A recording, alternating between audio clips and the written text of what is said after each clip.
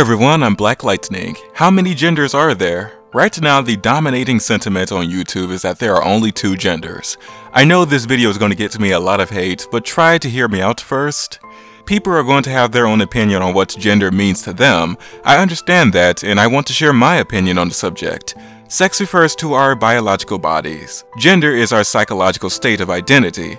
The genders, man and woman, are highly correlated with the two sexes. Most societies, if not all, create man and woman genders based on our sex. If you're male, then you usually take on the societal norms that are expected of a man, such as being tough and dominant. If you're female, then you usually take on the social norms that are expected of a woman, such as being nurturing and submissive.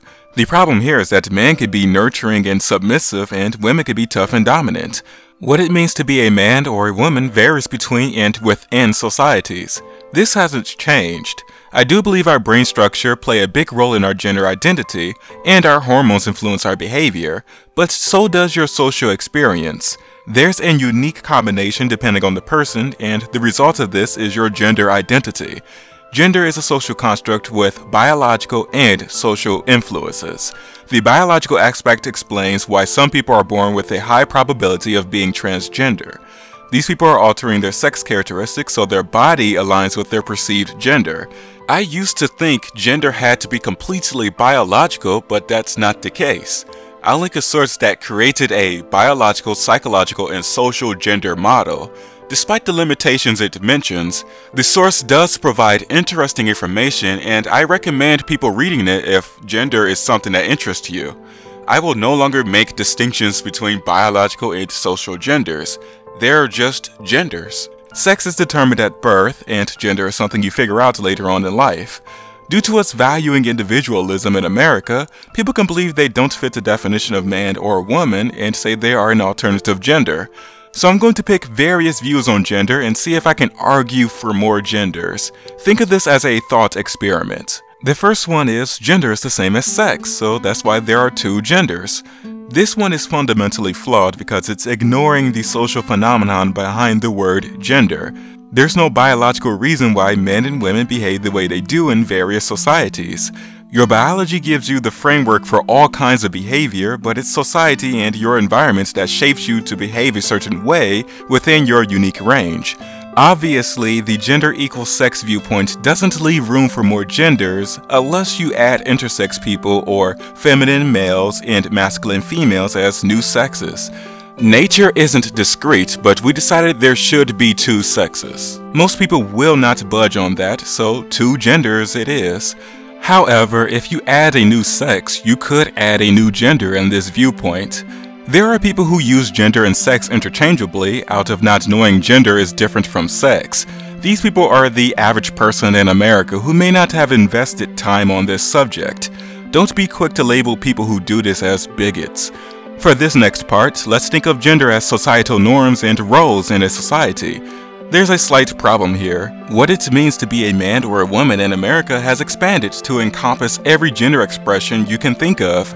It's no longer as specific and rigid as it once was decades ago, and these other genders would have made sense back then. Men are like this, and women are like that. Oh, you don't fit those definitions? Then you're not a man or a woman, but society would force you to one of those genders based on your sex. You're definitely male or female if you're not intersex, but there would have been room for more genders. Now, being a man or a woman could mean anything. It removes the need for there to be more than two genders to some people. In order to make alternative genders work is to make the genders, man and woman, simple again. That isn't happening due to the progressive push that men and women are not defined by rigid and limited definitions. There is this push from conservatives to live a traditional life and put men and women in those previous specific gender roles, and with that, new genders could exist. There will be pushback because traditional life only includes two genders, in America at least. In other societies, there are genders other than man and woman. The Balkan sworn virgins are females who stay virgins and wear men's clothing and take on their roles. You also have indigenous people in North America with a third and fourth gender called two-spirit. Feminine men and masculine women. You might say that's just being transgender, but remember, they are going by their own societal norms and societal expectations of their genders. Yours may not apply in other societies. There isn't some universal definition of what a man and woman is, and if a society leaves room for there to be more genders based on their societal gender norms and roles, then that's what happen. In this context, you can have many more genders than just two. Not infinite, but a lot depending on the roles and expectations a particular society has given their genders. Now let's think of gender as if it's on the masculinity to femininity spectrum.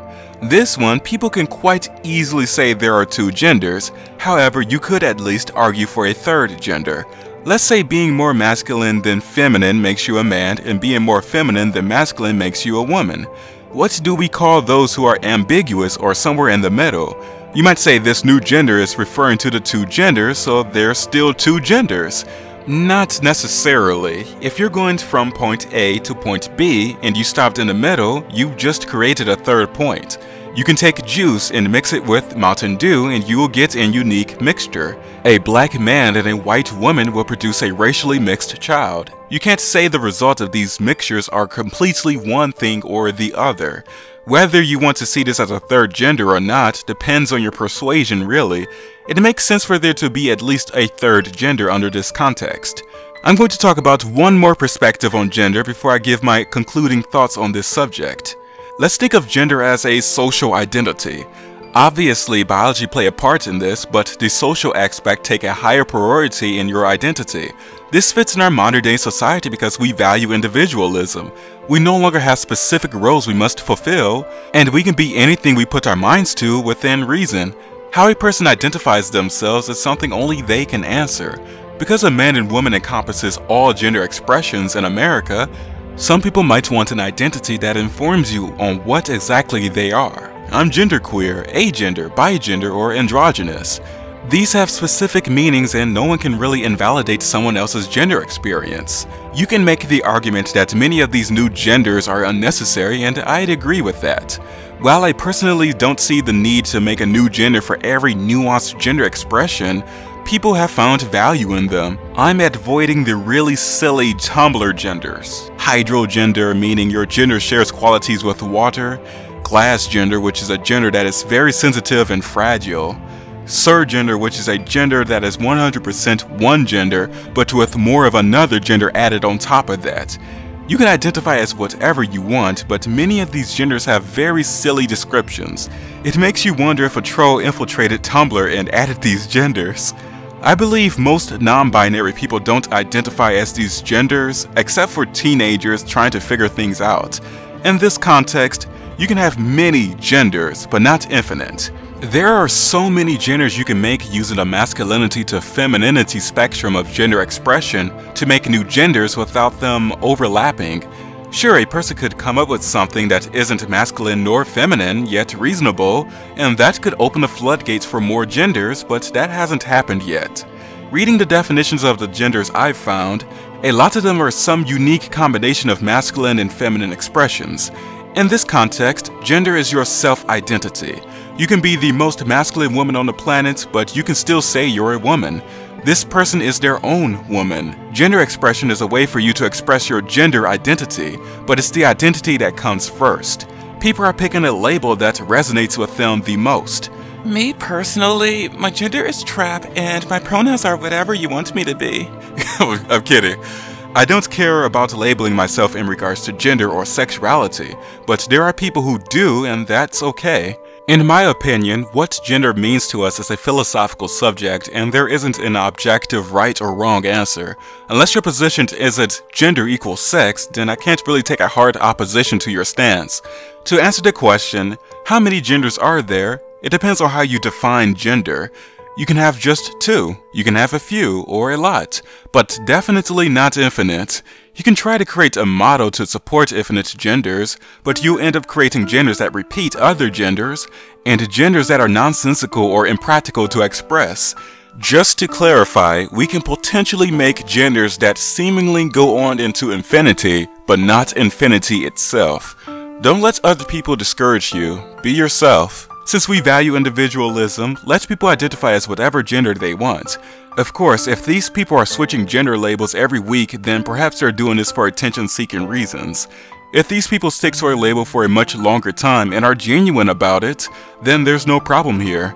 As long as there's no harm involved, live and let's live. I don't consider the research on biological influences on gender to be complete. Everything must stay falsifiable and I'm always open to new information. Whether there is or isn't biological influences for alternative genders, we shouldn't shame those who identify as a gender other than a man or a woman. These people found value in these identities and they are able to function in society like everyone else. I understand those who are saying there are only two genders and are being reasonable about it. But there really isn't anything stopping there from being more than two genders other than I disagree with it. You might say we're using science, but current research leaves room for further exploration. Most people are satisfied with identifying as a man or a woman to keep it simple, or because it came naturally to them. That's fine, but there are people who want to ponder for much longer about what it is they are experiencing. This topic poses an existential question worth exploring. Who am I? Gender is not everything, but it's a significant part of you amongst others. We can joke about the Tumblr genders, but behind all of this are people trying to find themselves. Many of us can relate to that, and we do this at our own pace and depth. As we all challenge ourselves and grow, this breeds new questions we want answers to. Don't be too quick to shut a topic down. Stay curious, keep a healthy dose of skepticism, and keep growing. Anyways, thanks for watching and take care.